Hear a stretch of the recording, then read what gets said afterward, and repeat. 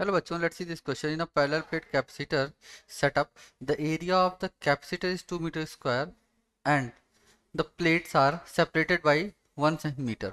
If the space between the plates are uh, plates are filled so with the dielectric material of thickness 0.5 meter into area 2 meter square, the capacitance will be set up will uh, be epsilon naught. Here should be a gap, but it is missing here dielectric constant of the material is 3.2 round off the nearest integer. Okay okay. So one point is missing here. First i need to correct it. Uh, this is uh, the dash into times epsilon naught. So we know that the formula undertaking the dielectric constant c is equals to epsilon naught into area of this plate uh, upon d by 2k plus d by 2 this is the formula for the capacitance which is undertaking the slab. Yeah.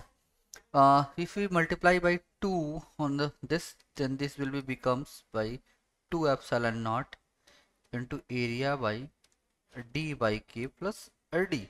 Yeah. If we put that area is 2 that means 2 into epsilon naught times upon d that means uh, nothing but uh, d. That is uh, 1 upon 3 by 2 we can say that. D by k that is 1 upon 3 by 2 and d is 1 meter. This is saying that 1 meter and k is nothing but 3.2 yeah.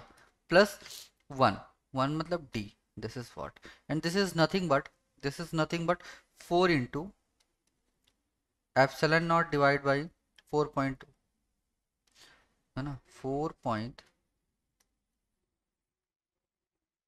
4.2 yeah. This will be becomes out to be or into 3.2 yeah. Basically this will be becomes out 3.04 times epsilon naught. So if we compare with this with this then the answer will be 3.04 but fact is that they are uh, directing to us round off to the nearest integer. So we can say that nearest integer of this 3.04 will be 3. So answer is 3.